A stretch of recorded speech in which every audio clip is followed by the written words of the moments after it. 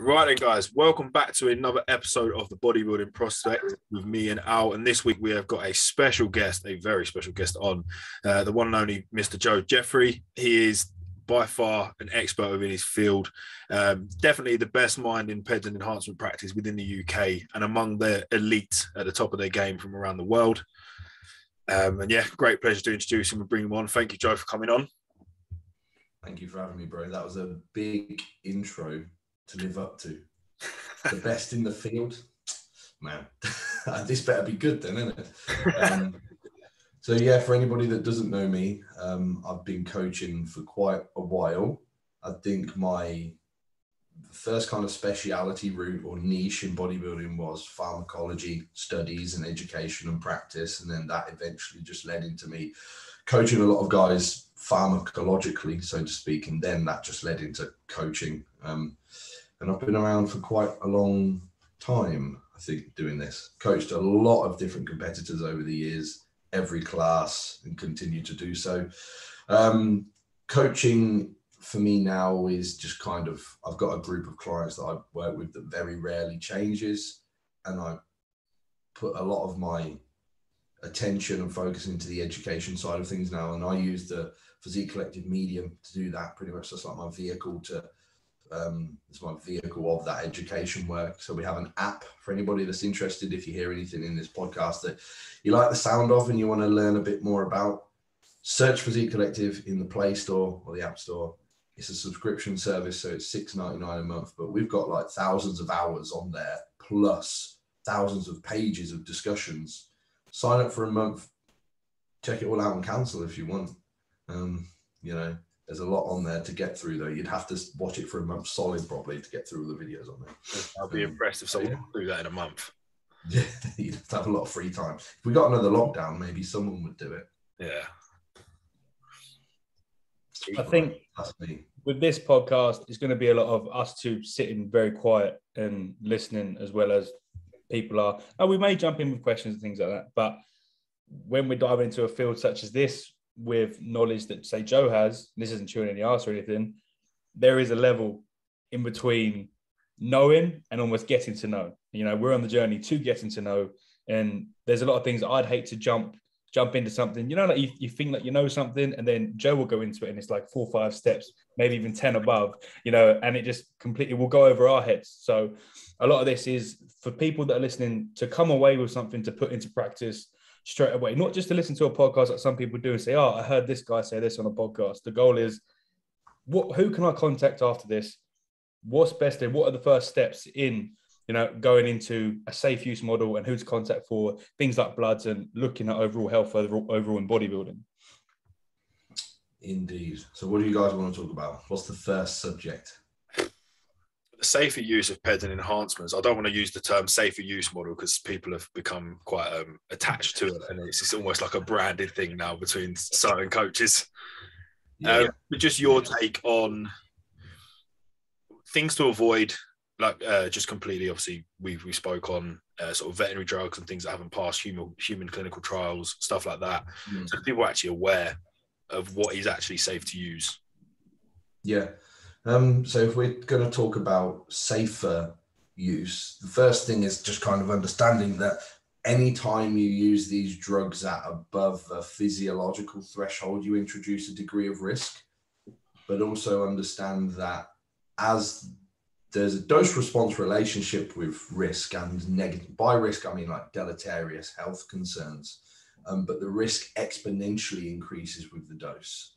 So for example if we took a testosterone a testosterone replacement therapy dose, just like ballpark it at 200 milligram for this individual because it varies greatly, as you know. There's great biological inter individuality. And say, okay, there's there's some risk of escalating that to 300 milligrams, but it's you know fairly minor. Um, and then maybe if you escalate that to 500 milligram, there's a much, or sorry, if you escalate that to 400 milligram for the same 100 milligram dose increase, there's a much greater risk than the previous 100 milligrams, so on and so forth in this compounds. And this is the primary reason why sledgehammering any one metabolic pathway is the wrong way to create the total net anabolic slash anti-catabolic outcomes that you want. At the end of the day, if we're talking about gaining muscle, that is a function of biasing the protein turnover equation to more synthesis and or less degradation so muscle protein synthesis versus degradation and most of these drugs are going to eventually get there like through some way like mm. whether it's at the androgen receptor or the growth hormone receptor or whatever it is um, so we would much rather use what i would call a polypharmacy model so lots of different compounds to create a slight nudge on the anabolic or anti-catabolic or lipolytic. So basically what I'm saying here to cut through the jargon is like a little bit more muscle gaining, a little bit less muscle loss, a little bit more fat loss, um, a little bit less fat gain. That's called anti-lipogenesis. That, that's what anabolic steroids do mostly. Um, well, not mostly. I mean, how they contribute to fat loss, you know. Mm. Um, so we would much rather, if we're going to use drugs for bodybuilding, have a selection of multiple metabolic pathways to modulate, um, as compared to, for example, and I often I often use this one in um, the early, I would say the early 2010s. How do you say that? The early 10s, whatever it is. Um, and bodybuilding forums online, there would be a lot of this right, if you're not using over a gram of testosterone or if you're not using this or that, then you've got no business using growth hormone or you've got no business yeah, yeah, yeah. Hmm. which is crazy stuff. Another example that just popped into my head. If you if you're not at a, a gram of testosterone, then you don't need exotic drugs like Primo or Masteron. It's like, man, what are you saying? Is it's quite the opposite. You know, there's a reason you know, I can imagine all these like pharmacology um, chemists that synthesize these steroidal psalms to be like so perfectly tissue selective and so mm. devoid of androgenicity, looking at those statements and crying. You know, it's like, I invented this thing so you didn't have to do that. Mm. well, it's not for us, but you know, medical deployment, you know, I've created something so much better. I've improved on this. Um, but anyway, that that's a kind of aside there. So you would look to use like the aforementioned drugs, growth hormone and insulin, to actually offer you an opportunity to not have to get to the thousand milligrams of testosterone, for example. You know, we've just elucidated that there's an exponential increase of risk with this one pathway as you turn it up you'd much rather just touch multiple as compared to just sledgehammer one. Mm-hmm. Um, so we, we come to the polypharmacy model, and it's important to mention that because I think if somebody got their drug programming through and there was like 10 things on there, they'd be like, fuck. Yeah. yeah. like when I first joined Joe and the cycle come through, I was bamboozled is the easiest word to use. And looking, I was like, first of all, call George.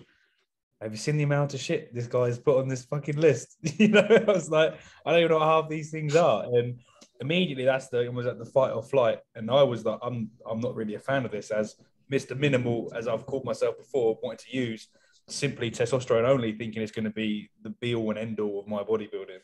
And overall, it came down to not feeling safe to use certain compounds and things like that and certain substances like growth hormone instant you hear all the horror stories and you know we spoke about it many times on consults it's you know for example with insulin when we first started of like five units he was like do you know little girls go to school in their school bag with more than you're taking right now you know and they take more than you do and i'm like so I'm not going to take it. And if I don't eat within the first 20 minutes and 20 minutes after that and 20 minutes after that, I'm not going to die. You know, those sort of horror stories. Yeah, there's some there's some great like case studies of like attempted suicide with insulin where like people uh, can't do it. Like it's it's more difficult than it sounds like. If you've got a functioning pancreas, like yeah, you could go hypo and like pass out. So if you're driving, like yeah, that, that can be dangerous. But if you like pass out, eventually you'll regulate that and you'll mm. pull glucose from amino acids, glucagon, and stuff like this, and like you'll come around. Or worst case scenario, right?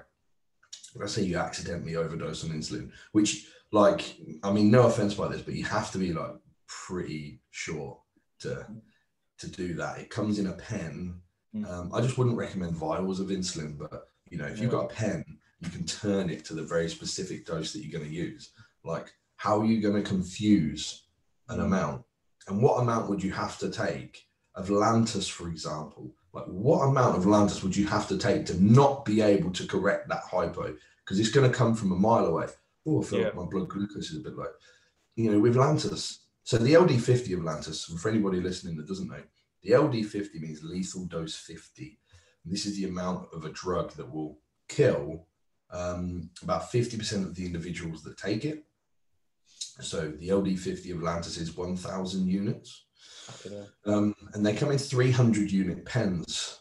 Um, so you'd have to take more than three whole pens, which I don't know how you'd accidentally do. Like this is where like you'd have to take one out and then turn it. And what you can only turn it to, I think, like 70 units at a time on the dial as well. So you'd have to like be turning it three times to get the next pen out and be like, oh shit, I was only meant to take five units. Like it's you'd have to be crazy. And even then, it would take ages.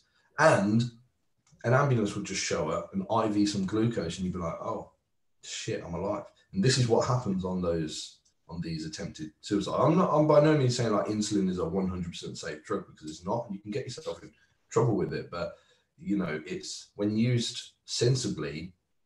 In fact, even when not used sensibly, like it's quite difficult, as we just said, to like fuck it up. Um, the issues come with like insulin protocols that are using super physiological amounts of these rapid acting insulins or Can you you start messing of like yeah like um i nearly said the name there. Um Yeah. like if you're gonna you're gonna use like a nova rapid or a humalog like 20 units with each meal with atlantis background at like 70 units and stuff that's believe me that's not out of this world for bodybuilding.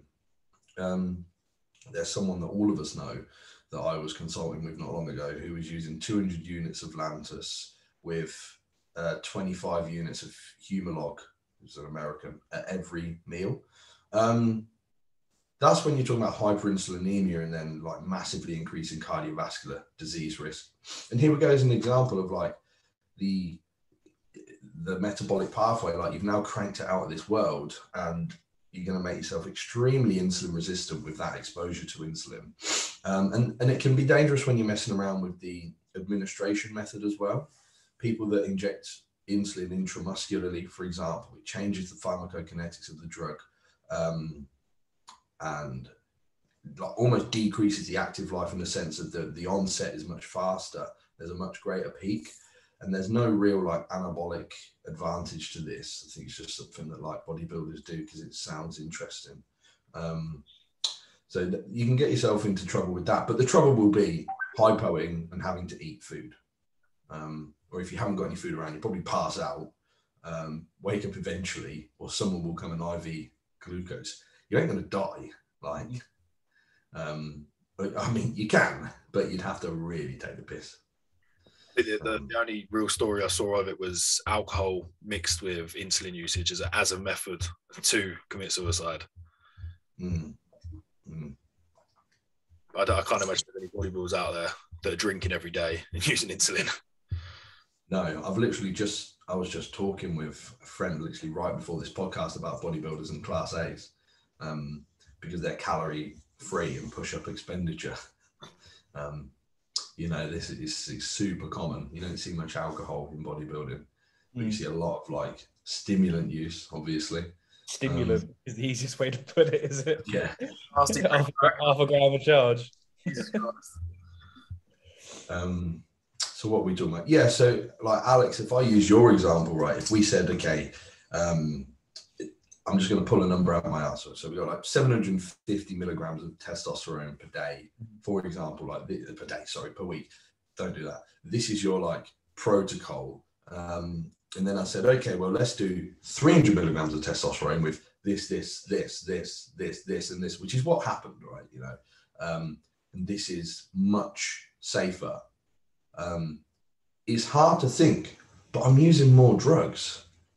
But when you look into the stress load given by each particular drug, because we're working under different metabolic pathways, you know, and we talk about anabolics, we're working under, this can get complicated, so I'll try and keep it simple.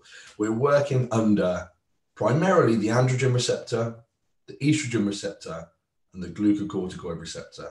There's lots of like genomic and non-genomic signaling and gene transcriptions and stuff in, involved in this. And but for the most part, we've got binding at the androgen receptor, which is just transcribing anabolism, turning on protein accretion, which is gaining muscle.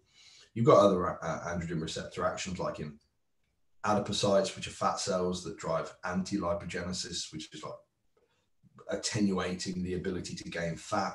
Um, the estrogen receptors actions on the growth hormone IGF axes and the glucocorticoid receptors actions on inhibiting cortisol and turning down muscle protein breakdown.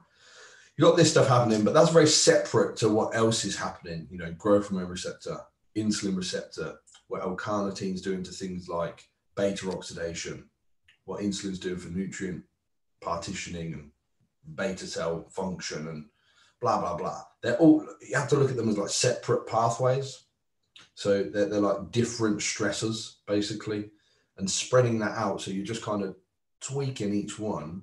Or if you're going to be a pro bodybuilder and really press it, maybe like moderately or or even pretty hard turning up each one rather than absolutely caning the life out of five grams of anabolics maybe you might only need three with six units of growth hormone and 40 units of insulin or something these are extreme dosages that my clients wouldn't do but um that happens in the bodybuilding world so that's the polypharmacy model hypotheses in a in a nutshell that all makes sense yeah, yeah. It's, it's I, these are things that I when I have consultations and they're they're people that have done like one or two cycles and they come to me wanting to take it further and you say to them, well, okay, right, well, if you want to go, you know, the goal is to get here, right? Well, this is what you would need to do to get here, just based purely off of what you said is the goal. They look at it and go, oh shit, uh, all of that really?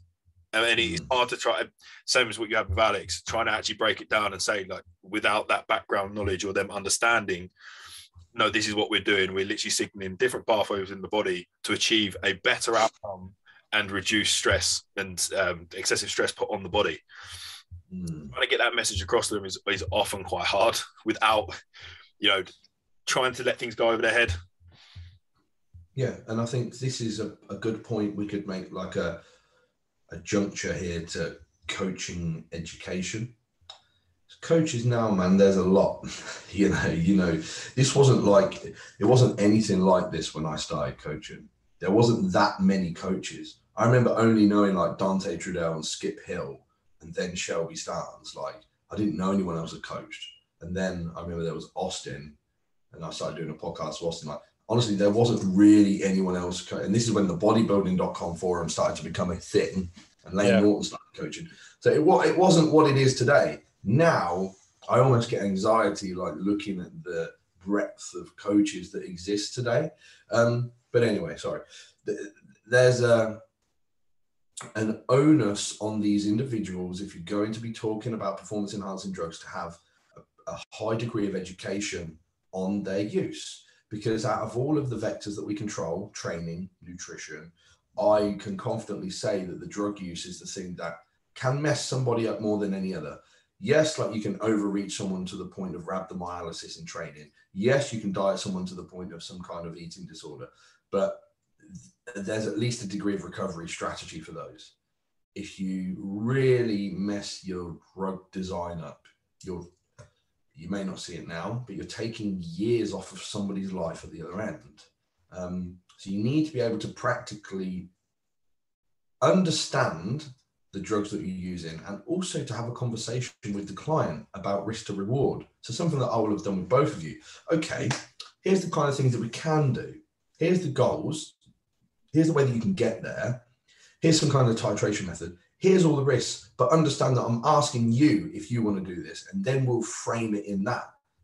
Because many times I've had a client go, you know what, I don't think the bodybuilding thing's really for me. Where, but I, I want to kind of improve my physique over the long term, maintain a good look. So, um, where should I be? And it'll be far lower than okay. Well, I want to be a professional bodybuilder. You know, see, it's not just here's your drug plan. It should never work with that. It's like, right, what are we working with with the goals? What's the time frame? And what risk are you willing to take? I found like putting like a numerical value to it, like you did with the milligram per kilogram method. Mm. I found that quite useful of kind of putting it into perspective for them, saying, right, well, this is what the not all of them, but some of the top pros and like Olympians would be using in and around that range of what between 20 to like some of them even 30 milligrams per kilogram at the, the stupid end of the scale. This is where we would start you at five to six milligrams per kilogram, and that's still far out of super, you know, sorry, out of natural range. You're in that super physical, super physiological realm. That's the distance between safe or low risk, low reward, sorry, and extremely high risk, high reward. Mm. Yeah, the, the, milligram per kilogram marker has come under um, criticism which I understand because I don't think it's reflective of a compound's efficacy or potential anabolism or something like this. That's really not the reason I would use it. I use it as a benchmark for constructing starting points and accumulation points, end points, peak loads, and as a reference, like you said, to what other people are doing. Um, another problem with, I think, many coaches is they won't actually work with or know anyone that is, as you said, Olympian level, many IFBB pros, you know, so they don't have a reference point. They might just read something on a forum, be like, right, this is what they're doing. When, I mean, uh, it's sad to say, and people can believe this or not, I consult with people that write things online that I know they're not doing um, because I do their drug stacks. Um, and they'll very more often than not, it's like leaning towards the truth, but it's not the truth. You know, it's like, for example, if a very common one is cruising, and I'll see a client write like, "Yeah, I'm just on TRT," and they're not on TRT. They're on like 300 milligrams of test with 200 milligrams of primo or something, and understand that that's a million miles away from TRT. You know, for a lot of people, that's like five times the androgen load of TRT and growth hormone and Lantus and Nova Rapid and injectable L-carnitine and telmisartan and metformin. It's like, yeah, you're not just on TRT. So, you know, it, you need to have a have a practical understanding of what those people are doing there. But then you see it on the other side as well. You know, all the pros are using like five grams. Well, most of the time they're pros because they have these incredible responses. Mm-hmm. Um, I can't think of a single pro that I work with that accumulates more than two and a half gram at the end, which is still a lot of drugs. You know, I'm not here to tell anybody that you should only use like 500 milligrams either for like two years and think that it's going to get you somewhere. Um, but anyway, yeah, we got well sidetracked there. Another um, thing on safer use, I'd say, when it comes to compound selection and a, a general misunderstanding, especially when it comes to anabolic steroids, of how they work. Again, so the education thing is important. Um, let me give you an example. So there's something called the Hirschberger assay. You boys heard of this? You've mentioned it to uh, to me before. So this is where the first anabolic androgenic ratios came from. Um, and this is a rat study. So firstly, anyone that's familiar with science, you see surrogate models like rats, pigs, sheep, very common. You got to go, hmm, interesting, but may not or probably not translate to humans, um, but interesting nonetheless. So what these researchers did was take the seminal vesicle of, of a rat, which is meant to like represent the human prostate as a marker of androgenicity, but seminal vesicle is not a prostate, and a rat seminal vesicle is not a human prostate. Um, and the levator ani of a rat, which is like the rat's anus muscle, like a rat's asshole, basically. Um, couple of problems. One, like I'm not interested in asshole growth for the most part. Um, it's a smooth muscle. It's not a skeletal muscle. We're interested in skeletal muscle growth. And also, I'm not trying to get hench rats.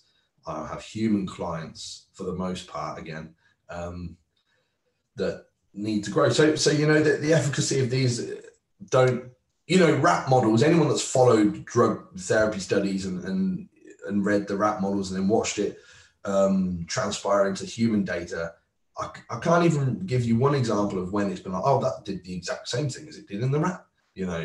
Uh, and th- this rings true for anabolics. But anyway, the Hirschberger assay would, would apply the drug to the seminal vesicle and the levator ani of the rat.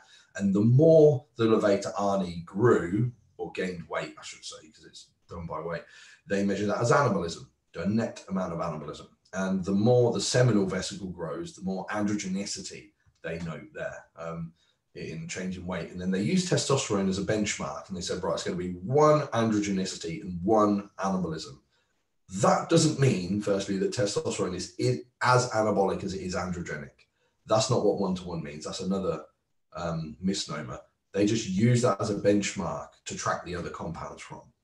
Um, and basically, they would use that like, okay, two would mean it's twice as androgenic, and five would mean it's five times more anabolic than testosterone in this in this rat. So you look at something like Trenbolone that came out as five times. Five times. yeah, like just you just think about it, right? Have you ever seen someone take Tren and gain five times as much muscle as testosterone? You know, come on. Like, when has that ever happened? Someone listening to this going, absolutely.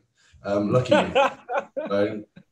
I mean, that's a great example because when Trenbolone was in human use, and yes, anybody listening, Tren was deployed in humans. In fact, for the androgen sensitive, which is women, elderly people, children. I don't think it was used in children. I'm pretty sure it was just like there was a, a branded one for postmenopausal women. I can't remember the brand. Yeah.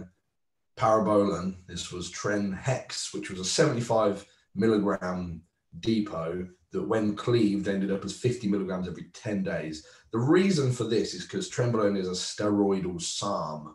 Um, which basically means it has a tissue selective nature and it is divorced from androgenicity. Um, other examples of steroidal SARMs being Anavar, Primobolan, Masteron, um, the good stuff, basically. Um, so there's an example of that. It wasn't five times more androgenic. In fact, it was far less androgenic than testosterone and about just as anabolic.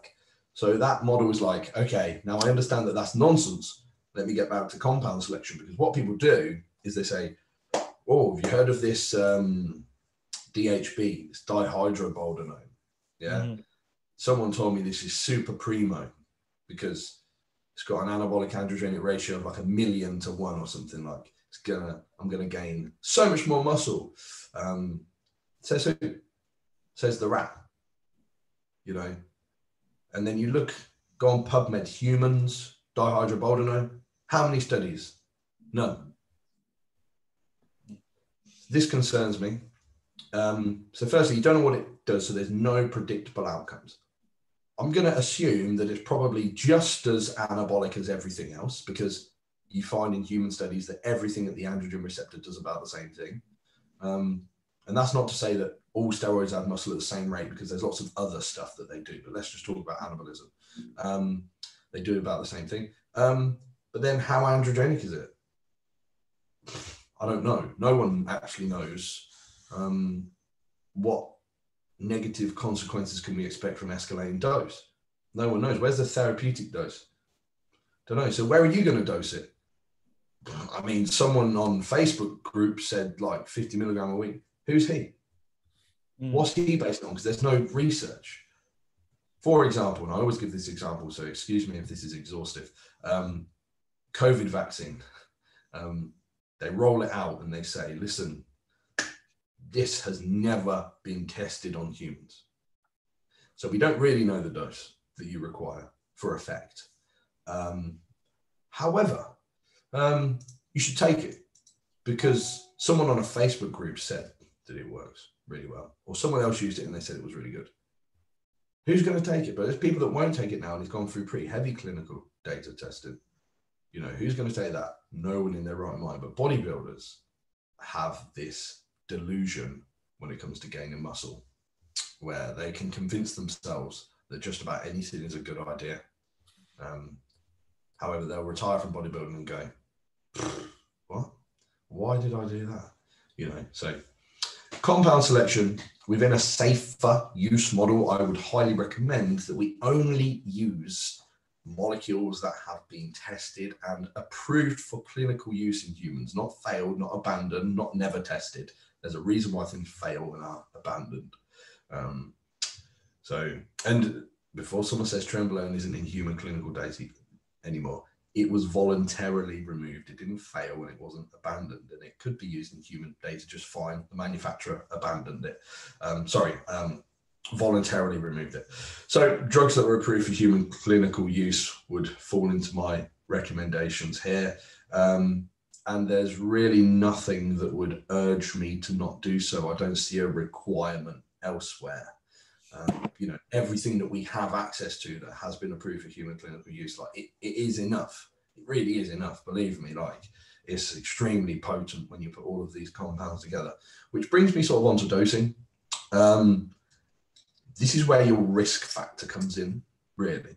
So all of these things, if they're approved for if they're approved for human clinical use, you can get on PubMed and you can find what dosing they've been used clinically for what durations, and then create a pretty um, accurate assessment of how safe something will be. Like for example, all of this person used TRT for 80 years. Uh, these people, you know, this systematic review on TRT shows that testosterone replacement therapy is, you know, equivocally over the board perfect. Okay, cool. There's no health issue with that. Um, but then maybe you might look at some muscle wasting disease studies on anadrol or something like, okay, well, these individuals using like two to three milligram per kilogram per day of anadrol, that's 300 milligram of anadrol a day or something. Yeah, they, they saw some like hepatic, yeah, that's a real clinical dosing. They saw some hepatic um, inflammation or something. So you can get a pretty good idea. Um, and then you're going to have to make the choice how far above those predictable outcomes you can go. So, like we said, like the the the like escalation of dosing exponentially increases the risk. I think once you're above about fifty percent of the deployed dose, I'm going to say, because you have different doses, right? You have the clinically sort of deployed dose, the dose that's in clinical practice. Then you have trial dosings, so doses that have been used in clinical trials like, for example, primobolan was used at 1,200 milligrams in women in one study, which is a lot. Now, this was used, I think it was 12 weeks. And actually, most women tolerated it quite well. But understand that if you use that as a woman for any extended duration, especially over and over again, you're going to have pretty significant virilization. Now, if you know like the effective dose could be like 0.5 milligram per kilogram for four to six weeks for what you're looking for, the further above and beyond you escalate that, the more exponential issues you're going to have. So, like for example, TRT, if we said it's like two milligram per kilogram, if you went to 3.5, yeah, you're probably going to be okay if you're handling everything else in your life well. Now, if you get to six, seven, eight, you're making a choice to like exponentially increase the risk. So that's always down to the individual, you know. Um, but at least you know. The benefit is at least you know what you're dealing with. Better the devil you know. Mm-hmm. what, what, to kind of mitigate as much as possible of the negative health effects that can come over time with the use mm. of and metformin, bring down angiotensin 2, bring down oxidative stress. So there, there is ways to kind of not you can't always prevent it because there's obviously genetic outliers. There's people that are going to exhibit certain expressions that are just they're just going to happen, but you can try and control it as best as possible and better your chances.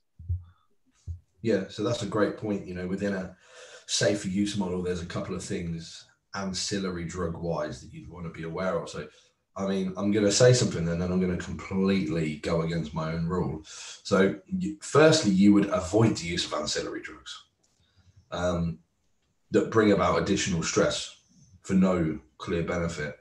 Um, for example, let's say we have 750 milligrams of net androgen load that we require to grow um, or to require to get to our goal at whatever amount of time. So we choose to use 750 milligrams of testosterone. Okay. And then we require a milligram or half a milligram of arimidex every day to control the estrogenic side effects of this, right? Okay, so you've still got that 750 milligrams of testosterone at the androgen receptor doing what it needs to do. So our muscle gaining goals, cool. Uh, now you've reduced your estrogen. Um, this can get a little bit technical, but let's keep it basic right now. Estrogen is extremely anabolic, but you know that androgen estrogen ratio was not suitable for us. We're having estrogenic side effects, so we had to pull that down. So let's just say, okay, now our estrogen is analogous to what we would have been producing at um, half of that, so like roughly 350 milligrams of testosterone. Let's say. Mm-hmm. Um, so you've introduced a drug that is absolutely critically terrible for your health. Like aromatase no, inhibitors. Say again. Are you saying that this is now put in, this like Arimidex is now there for no reason? If you're using the 750 milligrams of testosterone, it's there for a reason because it's there to control the estrogenic side effects. However, if you've only got four, uh, 350 milligrams of testosterone worth interacting with the aromatase enzyme, here's a better idea let's just use 350 milligrams of testosterone. Okay, but we require 400 milligram more for anabolism. Okay, well, why don't you just take that 400 milligrams from a molecule that doesn't interact with the aromatase enzyme, like Primo or Masteron, and you will have, like we said earlier, about the same amount of anabolism and again the same amount of estrogen, but you haven't had to use the aromatase inhibitor that's absolutely shit for your health. Oh, Makes sense, right? So avoid the use of aromatase inhibitors. Selective estrogen receptor modulators, the same like tamoxifen, I would not recommend. Clomid. I mean, a shitty example on my behalf, but I kind of I kind of look at what they can do to the body. I always had troubles with skin acne. Now, acne is really not important when you're looking at things you should be concerned with when using performance enhancing drugs. But when using, uh, you know, in the past, I used to use uh, one, I think it was one tablet of Arimidex every day. At one point, it even went to two a day to control. My acne flared up so far beyond what had ever been in the past. Similarly, when I come off cycle, used a PCT protocol, tamoxifen, clomid, and everything, it drove up oxidative stress through them, you know, uh, beyond control, which made my acne even worse. So, what's that doing? What is the oxidative stress and free radicals doing internally that I'm not seeing? Exactly. Yeah. Oxidative stress is like a primary concern of any PED user, something that we drive up hard through everything that we do so having a, a pretty comprehensive range of antioxidants on hand is is important, not only over the counter, but also, which brings me to breaking my rule of ancillary drug use. Using an ancillary drug like metformin is a good idea if you're a bodybuilder. This is a drug that I would call like a multi-pronged drug, as in it does lots of stuff, all of it very cool.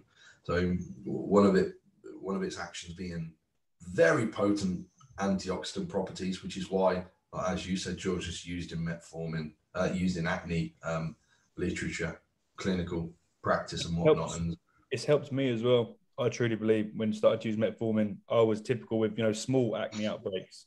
And mm. once because I was lazy with things like metformin and things like that, and I'd like forget, and I'd be like, oh, it'd be all right. Cause I wasn't thinking too much on it. Then you know, little things obviously as steroid user, you may find your skin gets a bit oily every now and then, and you're thinking, mm.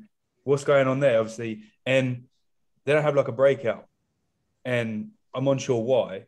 And then I'm more consistent with taking things like metformin, and then all of a sudden it will go away. I can't explain necessarily why that's happening, but all I know is when I make a more conscious effort, the negative effects seem to dissipate. You know, they seem to like wear off a little bit, and it's it was just, you know, I kind of got a little bit lost there, but you're gonna have to jump in.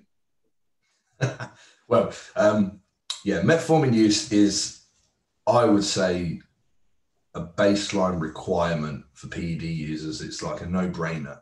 I've got a pretty long lecture on Physique Collective on metformin where I go through like every bit of data that I can find on it. It's a pretty long one, but if anyone's interested, it's worth watching. We go through the insulin sensitivity effects, the gut microbiome effects, which is very interesting when it comes to an anti-aging standpoint, the oxidative stress, blah blah blah, appetite control it's a pretty incredible drug, which brings me on to another incredible drug. Um, an angiotensin receptor blocker is the category, and all of them will contribute towards somewhat turning down the negative cardiovascular effects of androgen use.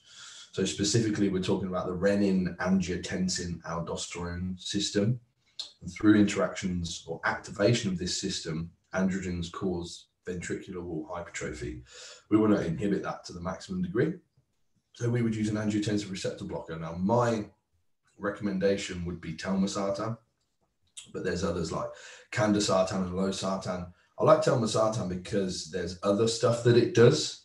It's got some research on myostatin inhibition and PPAR modulation. If anybody's familiar with the PPAR pathway, we're talking about um, like cardarine, for example, is a is a PPAR modulator. So increasing fat oxidation, glucose disposal into the muscle cell, increased aerobic capacity, and all that good stuff. And also attenuating aldosterone is always good visually. You know, putting off fluid retention, which is an issue for a lot of big bodybuilders, um, pretty cool. Like th- this is the mechanism by which estrogen increases fluid. It's like estrogen doesn't increase fluid, like estrogen increases aldosterone, which increases fluid retention. So pulling down aldosterone is going to help with that. Telmisartan and metformin are two drugs that I think should be in every bodybuilder's arsenal if they're going to use them safer, safer, safer. Um, metformin at 500 milligram a day, I think is fine. Telmisartan at 40 milligrams per day, I think is fine. But you can titrate or reduce for effect, basically. Um, George, you, you mentioned like things like a hierarchy of things you should be interested in there in terms of like negative consequences of drug use. Yeah. I think my greatest fear is neurotoxicity. Um, we're learning more about this as the research develops, and it doesn't look good, really. In fact, it looks terrible. So, what we currently know, or rather, I won't belabor anyone with a ramble on this. Let me give you some practical recommendations. So, estrogen is neuroprotective. So, we wouldn't want to turn down estrogen at all. Again, another reason not to use an AI. Um, there are issues with anabolic steroids that are synthetic progestins. Um, the most common used in our cohort being nandrolone or trenbolone. Um, trenbolone is really effective at glucocorticoid receptor inhibition. So it does what it does in terms of protecting muscle tissue when dieting out better than like anything. There's a use for it, but understand that the risk is that you will be exposing yourself to a synthetic progestin that is neurotoxic and more neurotoxic than other anabolics. Um, so either don't use it or use it minimally as infrequently as possible at the lowest dose possible. You know, so most of my guys will use between 50 and 100 milligrams a week when they're dieting, which is not really that often, you know. Can I um, jump in there with things like using things like Trenbolone, which I started to steer away from, would be negative sides on Trenbolone, mainly mentally, which I experienced. And, you know, this isn't uncommon to bring on things like anxiety.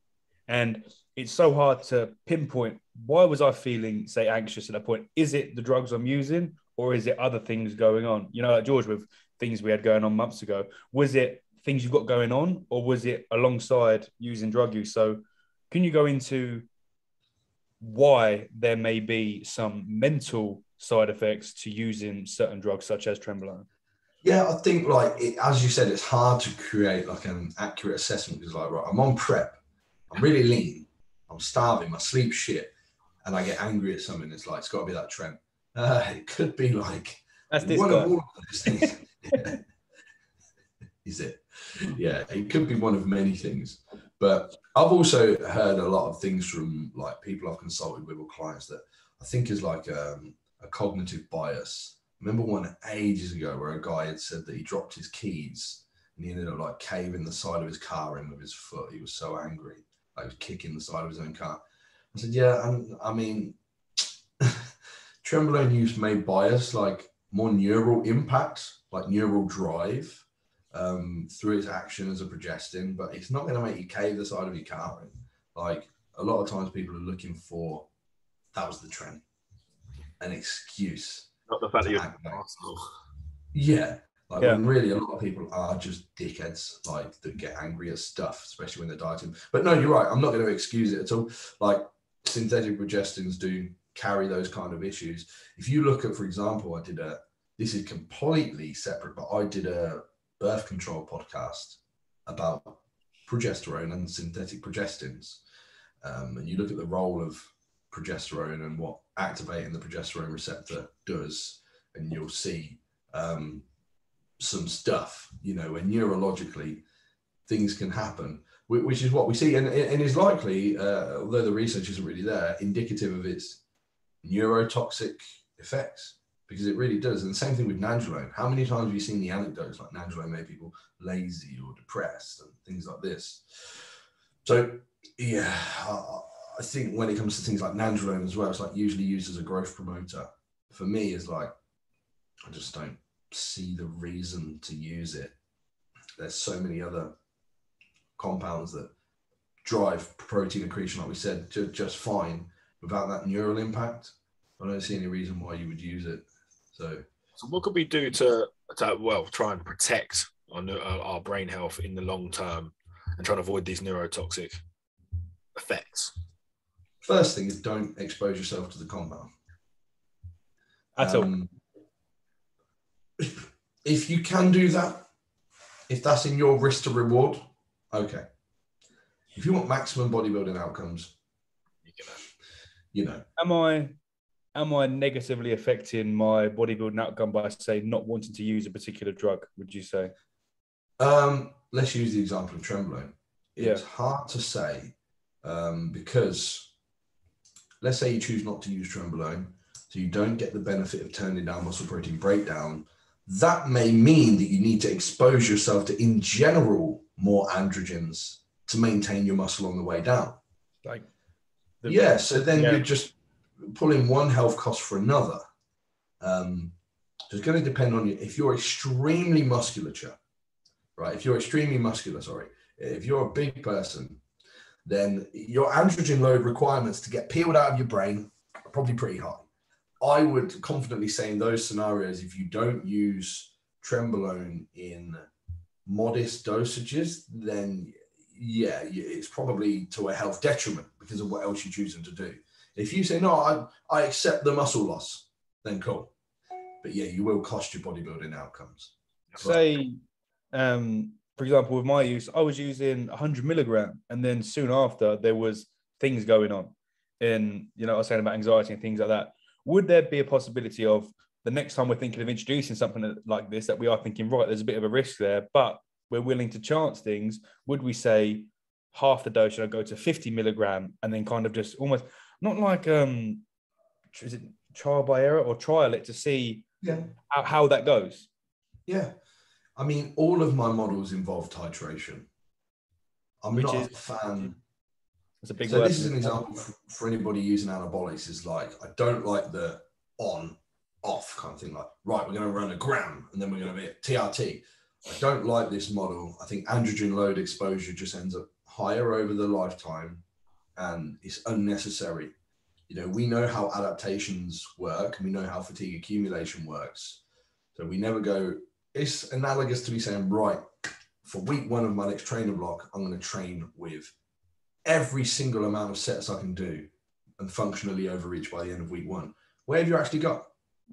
You know, so I follow these titration models maybe we'll start at 300 milligram and then it might go 350. Like I, have I've been cruising for a while and I just wrote my own drug block for the next periodization. And I basically start at 400 milligram and I add 50 milligram per week until the end of the block, which is fairly low risk because I'm not trying to be a good competitor here. I'm just trying to make pretty good outcomes, you know. Yeah. Um, Whereas for many clients, it might be 100 milligram a week for this amount of time, or it might be 50 milligram a week for a much longer period of time. The androgen load is important, depends on the periodization. So, yeah, man, like most people, I'll start at 50 milligram a week, let's say in a prep, and we'll run that for whatever amount of weeks. Then we could titrate to 100 or 75 or something like mm. that. But I, I, rarely breach 100. One thing I'd like to go into as well, I know we're getting a little bit short on time, but coming off because I've just finished my 12 week cycle. I've had hmm. 12 weeks. That's all I can stay on for. Do you mind debunking that a bit and going into your views on coming off on risk, hammering hormones, leaving them off, fucking your hormones, and just elaborate for us. Turning off and on of Okay, that. so, say again. Constant turning off, off and on of the HPTA or attempting to. Yeah, yeah, that's that's it. so. There's a bit to unpack there. Like, let's assume this is in a bodybuilder because I think that's the cohort that are probably listening to this. So, these people are not only using steroids once.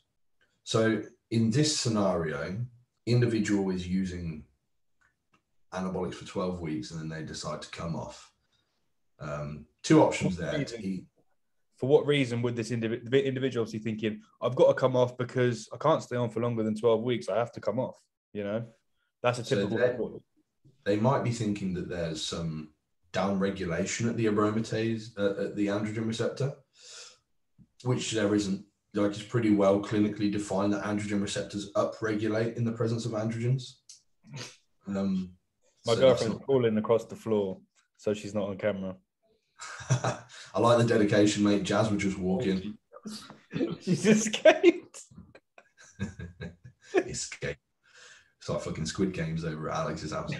Um, right, so they, they would they maybe think that there's some down regulation at the androgen receptor. Now, down regulation and desensitization are different things, and um, it's not really clinically defined if like the protein accretion driven by androgens does desensitize with repeat exposure. I've got my like hypotheses and theories that involve things that happen post binding at the androgen receptor potentially talking about myostatin and things, which is another reason why I think that accumulation models make more sense. But anyway, you you can absolutely stay on longer than like 12 weeks, like nothing stops happening at the androgen receptor. But there's some hypotheses to be made that things may begin to slow down, either in terms of a degree of desensitization, if that exists, or this individual just requires more now because they're X amount of size that their amount of anabolism needs more, which is a real thing as well. Um, so maybe they decide, decide to come off for whatever reason. Um, their options are to either PCT or to not. And like, surely the obvious one is right. I need to PCT, but is it? So there's a study called the Dutch study. I think it's spelled D. No, I'm thinking of a different paper. The Harlem study, H A A R L E M. My friend Peter Bond was a contributor to this. Um, uh, this is like a study from the Netherlands, I think, um, of bodybuilders that use anabolic steroids and come off. Some of them came off without PCT, and some of them came off with PCT. And they correlate the results of return to endogenous testosterone function and blah blah blah to see which one's most efficacious. And across the board, the individuals that use the PCT protocols see a longer duration of time to restoration of natural testosterone. Um, which I think is obvious to anybody that knows how these drugs work. There's always a degree of negative feedback inhibition with drugs like HCG, for example, that drive up intratesticular testosterone. If you're like synthetically driving up luteinizing hormone, how do you expect your own luteinizing hormone to like be doing anything? You know. Um, so if you're going to do that, your best option is to not take PCT. And there's some very nasty effects of PCT drugs. You know, you're basically taking like female breast cancer and fertility drugs to try to restore your own HPG axes, which is No. like you don't want to be doing that. Um, so let's say this individual comes off and like PCTs, which is a normal thing, and like now you've got all that nasty uh, health effects that come with the PCT drugs, but the individual is also now hypergonadal, which means clinically low testosterone, which is associated with increases in multiple disease risks, not to mention quality of life is rubbish. You're losing muscle. You can't bang your misses. You know, it's all a bit of a, a sad cloud hanging over you all day. Um, and you trudge through this for let's say 12 weeks. Maybe you've got some natural testosterone back by then. Maybe not. It varies. Maybe it's all back. Cool. And then you go back on gear, and the whole thing was a waste of time because now you've shut down your HPG axes again. So what did the natural test do? Health. Other than it, well, you know, let's talk about health. A good period of that time would have been spent being exposed to PCT drugs and living with clinically low testosterone, which is terrible for your health. Maybe the last few weeks was, uh, you know, okay for your health. Um, the alternative would be to just use testosterone replacement therapy between your your drug uh, your higher drug use. That would be the healthiest approach. How was that calculated? Sorry, how was that calculated per individual?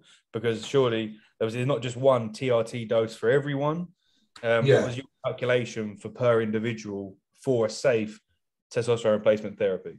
You'd have to work through blood work because there's quite a high degree of biological individuality. Setting it somewhere between one to two milligram per kilogram per week is going to have the majority of people set good, but there are outliers. Like I'll use myself as an example. I got my blood work done. Um, when was it? It was when it was when we were at the Battle of Bedford, and I am between cycles at the minute, and I'm using 250 milligrams of testosterone. A lot of people go, "That's a cycle. That's not a cruise." Well, I, I got my blood work done, and I microdose every single day, so there's a stable flat line, and it was 28 nmol. So normal range. Know, yeah, it's normal range, and it's like okay-ish. It's not like high, high. It's like near the top. It's at the, the it's at obviously the top end, but yeah, the range is fine. So where right? How how could someone argue that, that that's a cycle? Uh, you can't. People that don't understand the drug's good. Um, so th- there's a degree of biological into individuality, but I've had my blood work done on that dose many times, and that's it's always around that 25, 25 to 30. Mm. I just, you know, I just thought it was interesting to put that in there. So that could be where I would cruise at if I want maximum health outcomes. But hey, if I'm a professional bodybuilder pushing a pro carb, maybe I don't want to go that low.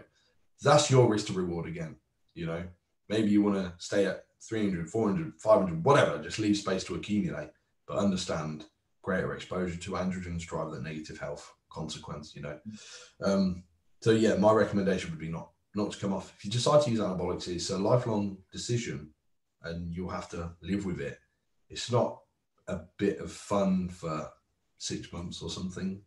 You know, you, these drugs were really designed for lifelong deployment. So that's the way to go. Mm. Sounds like on this podcast, I've just said use lots of different drugs and stay on all the time. it's, it's, it's the healthier way. Yeah, yeah, yeah. In the way that we right. Hmm.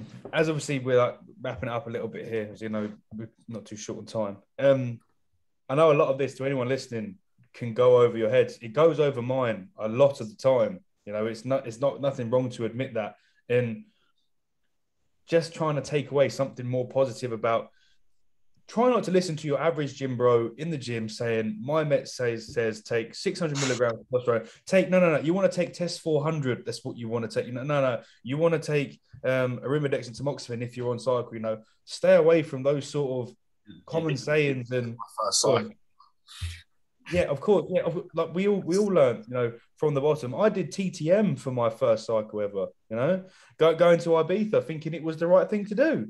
You know, and yeah. you just a, a, dumb eighteen year old, and I admit that that was me. And I'm not trying to say I'm all high and mighty because I'm invested in knowledge elsewhere. It's trying to learn, trying to pass it on the best way because there is negatives here, and on a journey to learning that.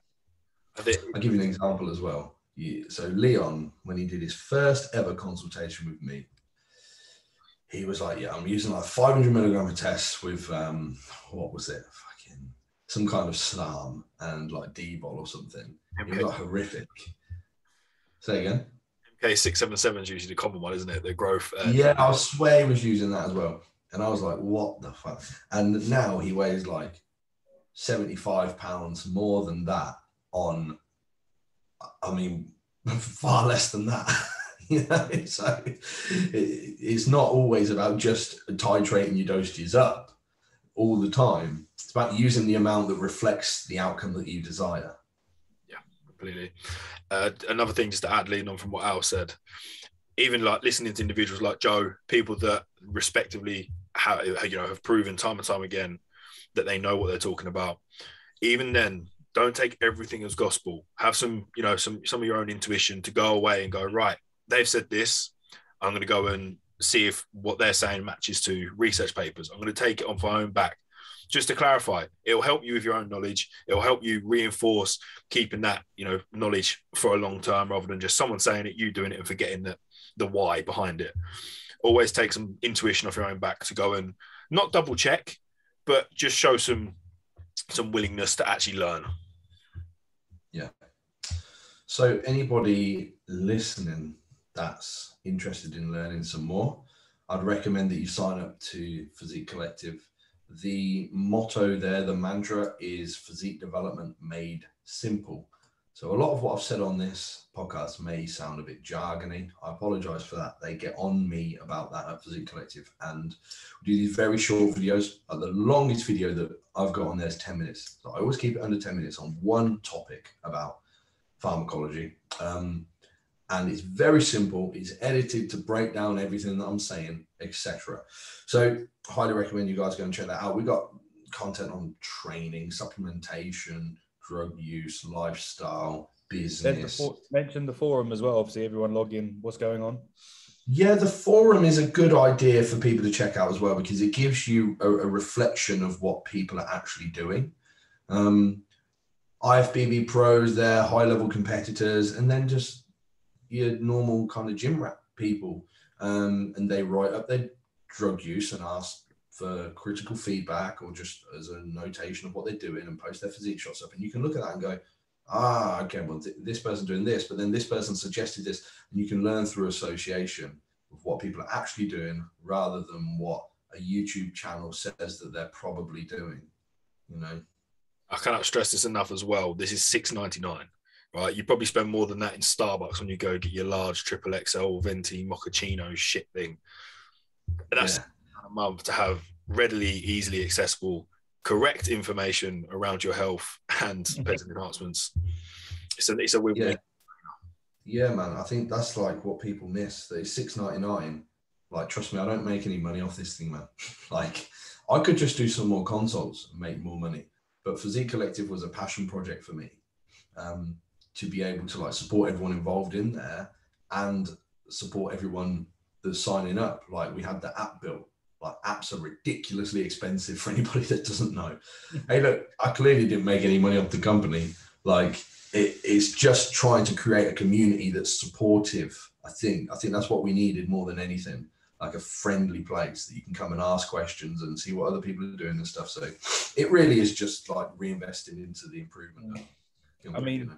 there's other forums obviously out there and apps you can join and things like that. But I think the communication between you know individuals on there it's it is it is friendly you know and it's real it's not hidden behind like i went on another forum and i asked questions and the answers are very i don't want to say bro you know i have to use that but i don't know it's just so much easier to talk to individuals that will keep it real and don't hide behind oh yeah i'm actually doing three times the amount that i'm saying but I'm recommending you to take three times less because that's considered safe by everyone else.